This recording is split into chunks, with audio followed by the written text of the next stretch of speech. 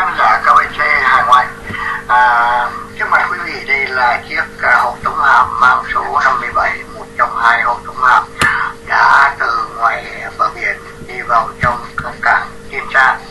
à, chiếc tàu à, uh, USS Cao Vinson là một cái hàng không mẫu hạm lớn nhất của Mỹ hiện nay hiện nay. Và đánh một cái dấu ấn rất là đặc biệt cho uh, tình hình uh, băng giao của hai quốc gia mà trước đây 43 năm là những kiểu thù với nhau đó là Hoa Kỳ và Việt Nam. Và lần đầu tiên à, chiếc à, hàng không mẫu hạm này đã được à, cập binh à, trên xa à, và được biết là hàng không mẫu hạm đang phụ trách một cái chương trình bình định ở Biển Đông. Tức là họ đã làm cái nhiệm vụ giữ gìn an ninh trật tự chung cho Biển Đông. Và trong một cái đối tác về quân sự cũng như đối tác về ngoại giao là một cái hình thức trong cái phạm vi một cái bờ biển dài hơn 2.600 km của Việt Nam thì tàu Winston cao Vincent đã muốn tới à, thăm viếng chủ nhà một cách xa giao. Nhưng mà trên thực tế thì đối với cái dư luận quốc tế đây là một cái biến cố rất là à, đặc biệt do tình hình của đất nước khán giả trước mặt quý vị đây là chiếc tàu 57 à, đã được à, quay bằng à, là ống kính của nhiếp ảnh gia lệ hằng. Và và những cái hình ảnh kế tiếp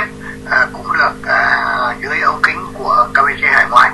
Vâng à, trong những cái hình ảnh quý vị đang được à, xem đây là những cái hình ảnh được chuẩn bị trong một cái buổi lễ tiếp tân thì à, thưa chúng tôi được biết là cái buổi lễ tiếp tân này sẽ được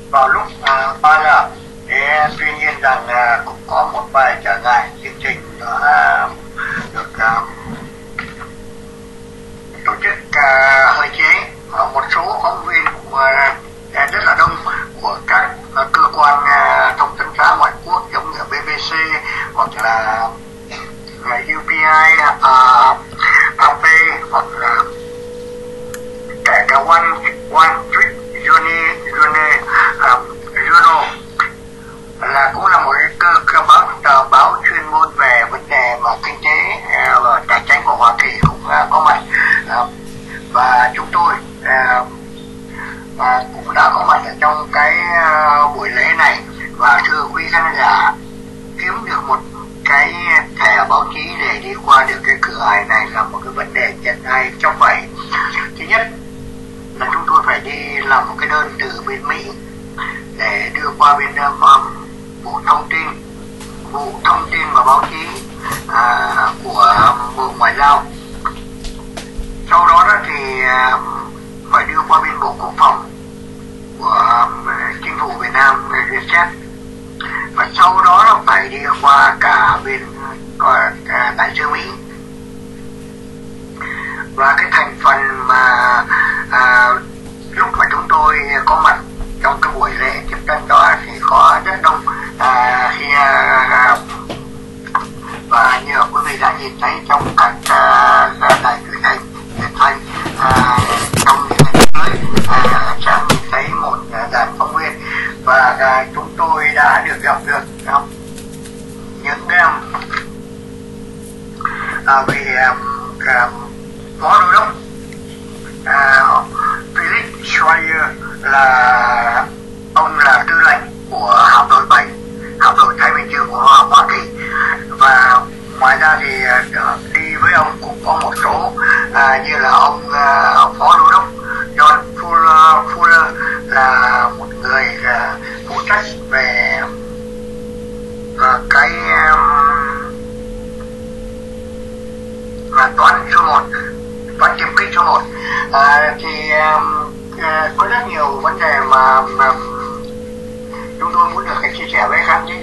giả các ngoài cũng như là của à, mà mọi người hầu như là và những bản tin đã không được à, à, trình bày rất nhiều chi tiết. À, một cái một cái à, vé để cho vào cửa khi mà vào cửa thì chúng tôi à, qua phải lại phải qua một cái phần ghi danh của ban an ninh à, cảng tiên sa gồm có anh em à, à, bộ đội biên phòng cũng như là bên à, à công an. À, sau đó thì chúng tôi phải đi qua một cái cổng cái cổng mà ra. À, thì đây là cái cổng này giống cổng, cổng an ninh giống như là ở phi trường tất cả các máy móc và các, các túi đeo đều phải đi qua cổng an ninh này. Và việc làm ở đây thì chúng tôi thấy rằng à, cả các anh em trong ban tổ chức của bộ ngoại giao cũng như là của bên à, à, tòa đại sứ mỹ đã cũng à, cùng phối hợp với lại à, biên phòng và anh em hải quân của ờ, các kiểm tra làm việc ờ, rất là uh, chú đáo. Thì uh, trước khi uh, bắt đầu vào cái chương trình thì chúng tôi cũng đã nhận được một số phần giới thiệu. Um, thì đại khái chúng tôi được biết là cái tàu Cao Vinson được viết tắt là CVN70 C tức là Cao Vinson tức là uh, V tức là Vincent N là Navy à, số 70 đây là cái mã số của ông uh, dân biểu Kel Vinson ông uh, Kel Vinson với thời gian 50 năm phục vụ trong Hạ viện Hoa Kỳ và và là chủ tịch ủy ban quân ủy và hải quân của Hạ viện trong 29 năm. Ông là người khởi xướng các đạo luật gọi là đạo luật Vinson và sau đó là sự ra đời của đạo luật hải quân. À, hai đại dương năm à, 1940 đây là một cái đạo luật cho phép triển khai hoạt động đóng tàu quy mô lớn trong thế kỷ à, trong à, đề nghị chế chiến. Và chiếc tàu à, hàng không mang tên là tàu Vinson công ty đóng tàu là công ty Newport News Shipbuilder and Dry Dock Corporation khởi công đóng tàu ngày 11 tháng 10 năm 1975 hạ thủy ngày 15 tháng 3 năm 1980, đưa vào biên chế vào ngày 13 tháng 3 năm 1982. Tổng chi phí là 3.8 tỷ đô la. Lực đẩy hạt nhân gồm có hai lò phản ứng. Trọng tải tàu 95.000 tấn, chiều cao từ ờ, y tàu đến cột buộc là 74,4 mét, tương đương với tòa nhà 24 tầng về bánh lái thì có hai bánh lái 8.8 m và 6.7 mỏ neo thì hai cái mỏ neo mà mỗi chiếc nặng được 27 kg 215 xích neo tàu mỗi chiếc dài tới 330 m và nặng 367 tấn dưới. Mũi mắt xích của của cái uh, xích nhà tàu này thì nặng tới 165 kg dưới. Và chiều dài thì uh, chiếc tàu dài 332.8 mét tức là 1092 feet. Chiều rộng thì gồm 36.8 mét tức là 200 52 feet. Về diện tích của con tàu máy là 1.82 hecta về chân vịt thì có 4 chiếc, mỗi chiếc rộng 7.62 mét. Tốc độ thì chạy được khoảng trên 30 hải lý một giờ. Quy mô không đoàn thì gồm có 60 chiếc máy bay. Và chúng tôi được biết trong cái hôm mà đến à, đảng à, cảng kiểm tra họ có tất cả là 72 chiếc máy bay đã được đổ trên uh, sân bay. Uh, thang máy uh, nâng máy bay lên là gồm có 3 chiếc ba uh, cái thang máy để nâng máy bay. Và không gian của uh, cái số phòng là trên 3.000 phòng trưng của tàu USS Carl Vinson có cái hình con chim đại bàng cánh dang rộng, móng vuốt, đuôi dài và mỏ kéo, một tấm băng rôn. Chim đại bàng là biểu tượng cho đất nước của Hoa Kỳ, phương châm của con tàu và cũng là đại diện cho sức mạnh, tiềm ẩn của những chiếc máy bay trên tàu. Chim đại bàng bay với hình dạng chữ V là cánh điệu, thể hiện chữ viết tắt, tên của người mà tàu đã được đặt thể, đặt thế nghị sĩ cao vân dân chữ V thể thân tàu từ khi nhìn từ mũi tàu. Và tấm băng rôn con chim đại bàng kéo đi có dòng chữ viết bằng tiếng Latin. Vispermere có nghĩa là sức mạnh điều biển. Và um, để biết thêm thông tin vui lòng quý vị ghé thăm website của ờ, uh, Cao Vincent www nói theo tiếng Việt Nam thì www Carl Vincent C A R L V I N S O N chấm navi chấm m u r m i xin lỗi m i l m i l là viết tắt của chữ military hoặc trang facebook quý vị cũng có thể vào www chấm facebook com gạch chéo uss Vincent hoặc liên hệ với chuyên viên văn hóa thông tin tàu Vincent theo cái địa chỉ của email p a o a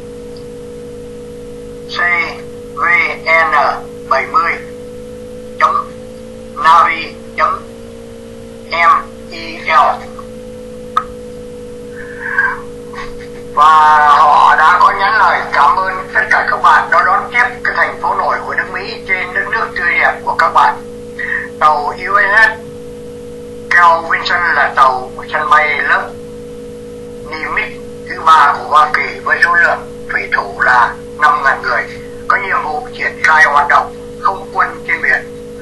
Chuyến thăm cảng lần này nằm trong khuôn khổ các hoạt động thường lệ của tàu tại khu vực và nhằm thực hiện thỏa thuận của lãnh đạo hai nước. Chúng tôi rất vinh dự được đến thăm và hy vọng rằng đây là sự trải nghiệm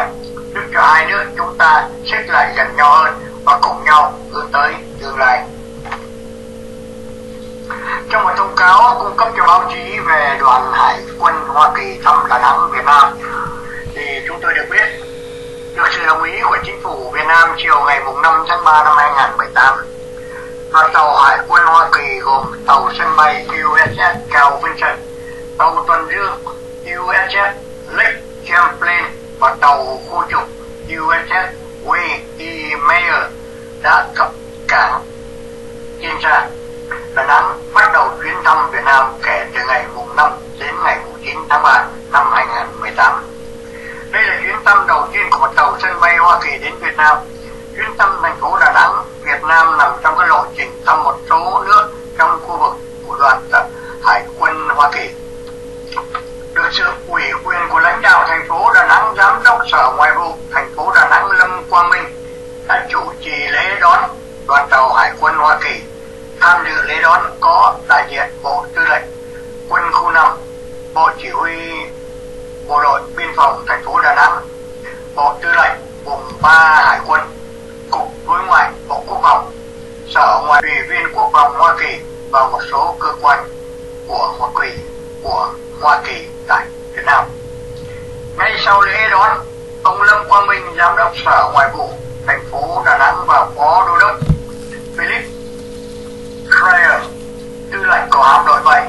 hạm đội Thái Bình Dương Hoa Kỳ đã đồng chủ trì họp báo giới thiệu chương trình nội dung chuyến thăm của đoàn Hải quân Hoa Kỳ tại Đà Nẵng, Việt Nam. Trong khuôn khổ chuyến thăm, đại diện chỉ huy đoàn tàu Hải quân Hoa Kỳ đến chào xã giao lãnh đạo thành phố Đà Nẵng, tư lệnh Hải quân Việt Nam và Bộ Tư lệnh vùng 3 Hải quân. Các nhóm sĩ quan và thủ thủy đoàn tham gia một số hoạt động công cộng đồng tại Đà Nẵng là biểu diễn ca nhạc, giao lưu thể thao, thăm và giao lưu tại làng trẻ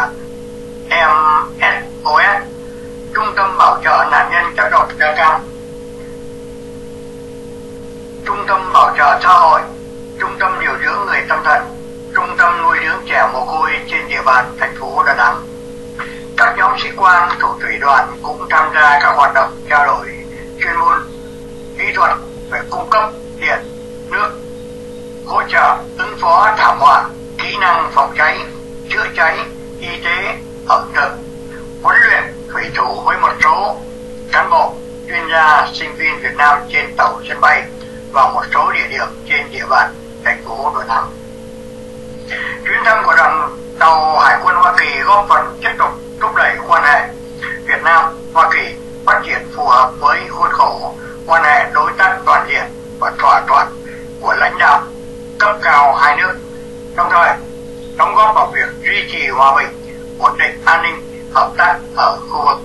Sự kiện này cũng góp phần khẳng định năng lực bảo đảm hậu cần kỹ thuật của Việt Nam trong việc đón tiếp tàu hải quân nước ngoài đến thăm,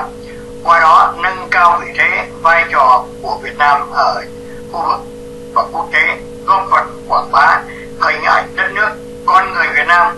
Đoàn tàu Hải quân Hoa Kỳ sẽ rời cảng Tiên Sa Đà Nẵng vào ngày 9 tháng 3 khán giả, và trong uh, hai ngày qua chúng tôi cũng đã đưa lên những hình ảnh giao lưu của đoàn thủy thủ đặc biệt là có lẽ là nhạc sĩ Trịnh Công Sơn rất hài lòng và mãn nguyện bởi vì bản nhạc nối vòng tay lưới của ông đã được một ban nhạc Hoa Kỳ trình diễn. Đây là đoàn văn công của đệ thất Hàm đội đã trình diễn tại cầu rồng thành phố đà nẵng với bản nhạc nối vòng tay lớn và thưa quý khán giả bản nhạc đã nói lên tất cả những cái tâm tình và cái tâm linh và cái nhân bản của con người và con người sau 43 năm chiến tranh đã chấm dứt tại trên đất nước Việt Nam, và những kẻ kiêu thù là những người Mỹ đã từng bỏ bom, giết hại biết bao nhiêu đồng bào, và ngay cả những quân nhân của họ vì bởi vì bỏ bom lỏng hoặc là những người lính ở bên Việt Nam Cộng Hòa. Nhưng ngày hôm nay, họ đã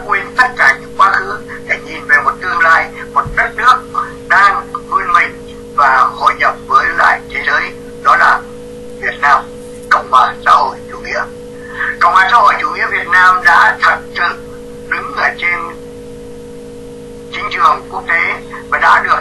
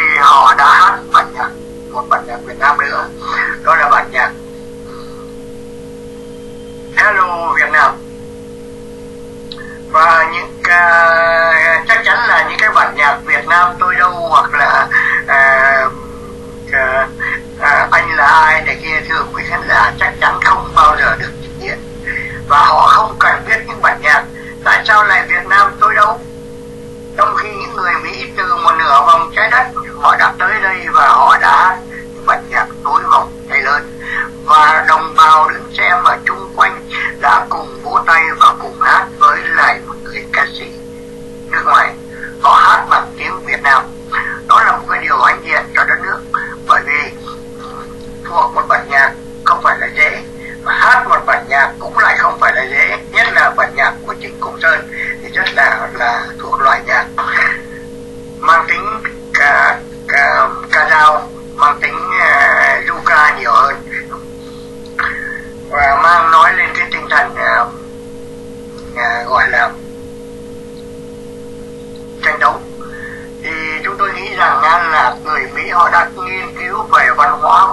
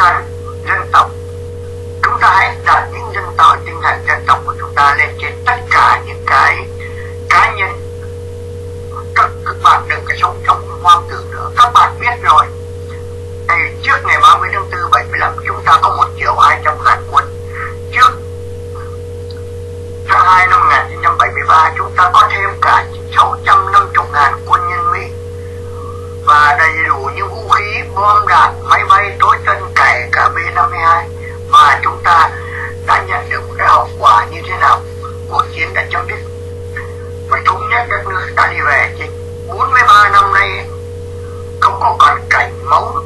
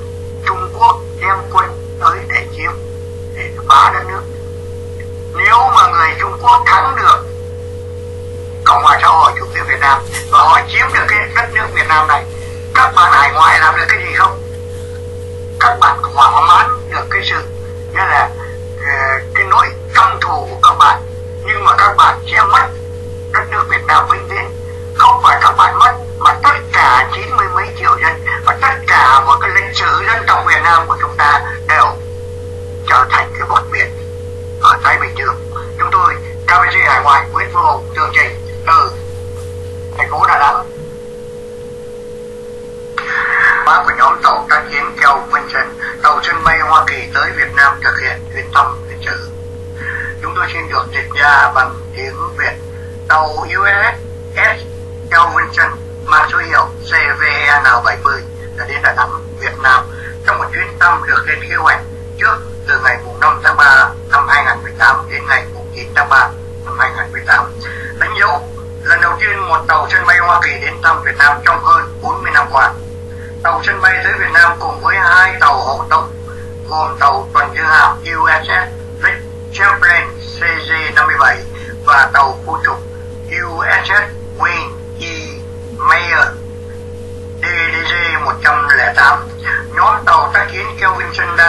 khai hoạt động thường xuyên theo kế hoạch tại khu vực Ấn Độ Dương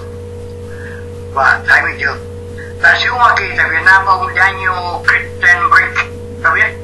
chuyến thăm đánh dấu một cột mốc quan trọng mang tính biểu tượng cho một mối quan hệ song phương của chúng ta và thể hiện sự ủng hộ của Hoa Kỳ cho một nước Việt Nam vững mạnh, thịnh vượng và độc lập với nỗ lực sự tôn trọng lẫn nhau và và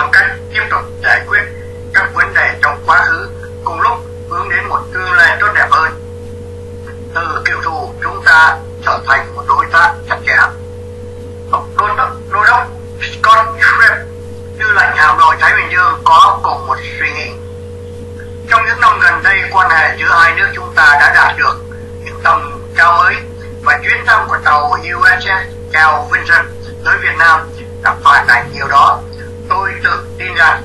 những hoạt động như thế này sẽ tiếp tục thúc đẩy quan hệ đối tác toàn diện giữa Hoa Kỳ và Việt Nam. Đô đốc Swift phát biểu như vậy.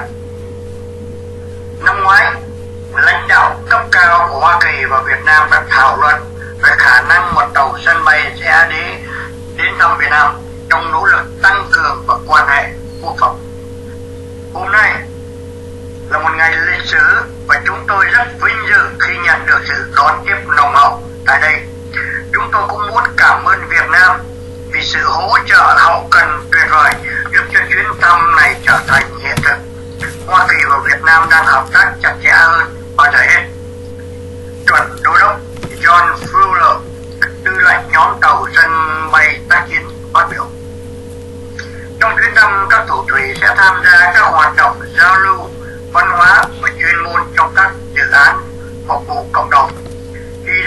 cao và các buổi tiếp đón. Bên cạnh đó, nhà công hoạch hải quân thuộc ban nhạc hạm đội 7 Hoa Kỳ sẽ có các buổi biểu diễn miễn phí phục vụ công chúng. Theo Vinson là cái tàu bay thứ ba thuộc lớp Nimitz của Hoa Kỳ với chủ thủy đoàn gồm 5.000 người tham gia hỗ trợ và thực hiện hoạt động trên biển. Nhóm tàu sân bay tác chiến bao gồm tổng cộng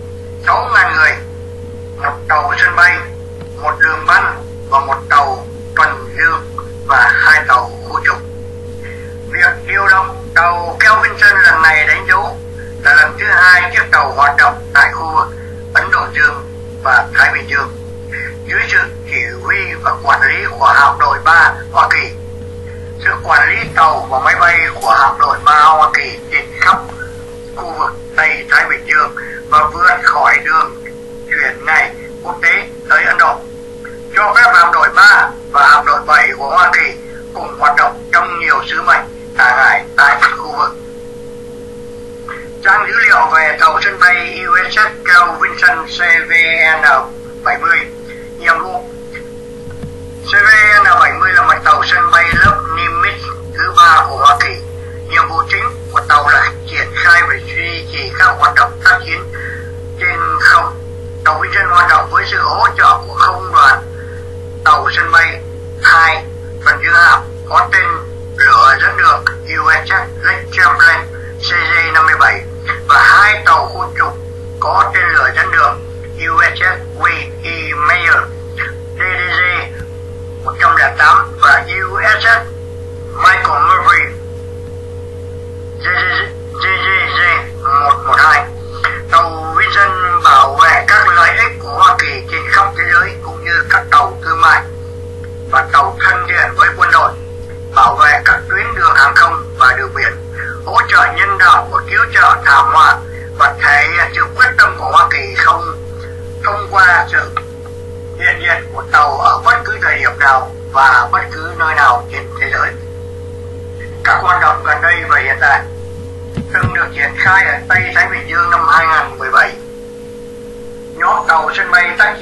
Chiến tranh đã rời San Diego vào ngày 5 tháng Giêng năm 2018 để thực hiện kế hoạch triển khai định kỳ đến Tây Thái Bình Dương. Tàu Cao Kelvinson hoạt động ngoài khơi biển vào Việt Nam California để triển khai hoạt động của không đoàn trên bo nước khi chuyển sang bờ Tây. Công tác huấn luyện và hoạt động định kỳ được tiến hành ngoài khơi bờ biển Hawaii.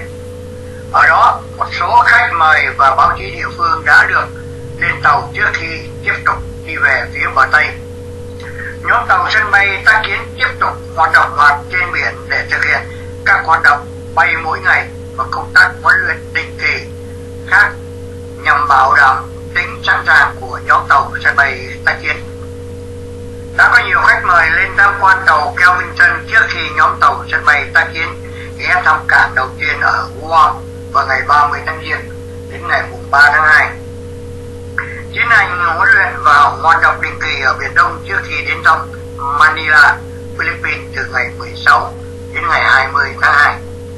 Hiện nay nhóm tàu sân bay tác chiến đang hoạt động ở Biển Đông để khẳng định sự hiện diện trong khu vực Ấn Độ Dương và Thái Bình Dương. Những thông tin chính công ty đóng tàu lúc nãy chúng tôi đã đóng rồi, đã, đã nói rồi và tổng chi phí khởi công đóng tàu tất cả những chi tiết này à, chúng tôi đã đọc ờ, ở phần động. Vâng, à, thưa quý khán giả, thì các hoạt động liên quan đến chuyến thăm của UN Carl Vinson à, ngày 5 tháng 3 vào lúc à, 2 giờ tới 5 giờ thủy thủ sẽ đi thăm trung tâm bảo trợ xã hội để giao lưu với người cao tuổi và giao lưu bóng đá với trẻ em tại đây. Tới ngày à, buổi chiều từ lúc 3 giờ tới 4 giờ thì lễ đón tàu và họp báo tại cầu tàu. Thì chúng tôi à, trong phóng sự này đã đưa cho quý vị thấy. Lúc à, 7 giờ rưỡi cho tới ngày 9 giờ rưỡi là ban nhạc hạm đội 7 của Hải quân Hoa Kỳ sẽ biểu diễn các ca khúc tiếng Anh và tiếng Việt ở cầu rồng phía bên đầu ở cầu rồng. 6 tháng 3 thì từ 8 giờ đến 10 giờ rưỡi thủ thủy sẽ chơi các trò chơi dân gian với người dân. Và tham gia cuộc thi bóc tỏi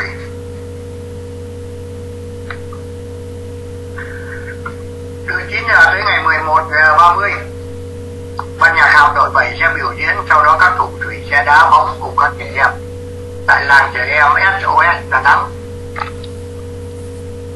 khóm 142 Lê Văn Hiến, quê Mỹ, Đà Nẵng. Lúc 10 giờ đến 12 giờ thì thi bóng đá ở trong nhà.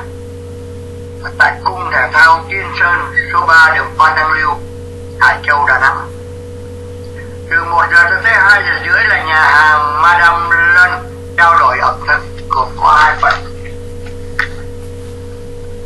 Thì sẽ chương trình với quý vị trong những cái phóng sự kế tiếp đầu tàu tàu thì các bạn sẽ hải ngoại chương trình từ cảng Kim Sa Đà Nẵng